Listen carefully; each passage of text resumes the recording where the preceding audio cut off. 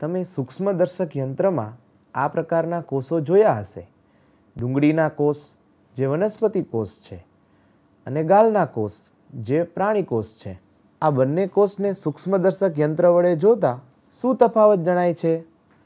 તમે જોઈ શકો છો, વનસ્પતિ કોષમાં કોષ દિવાલ આવેલી છે.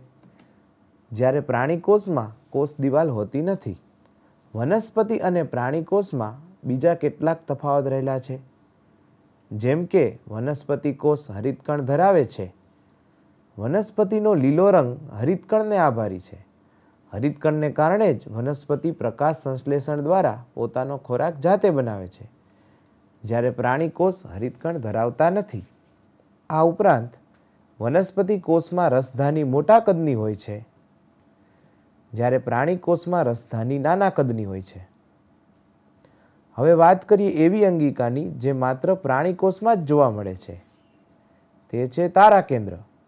તારા કેન્દ્ર માત્ર પ્રાણી કોષમાં જ જોવા મળે છે. વનસ્પતિ કોષમાં તારા કેન્દ્ર હોતા નથી.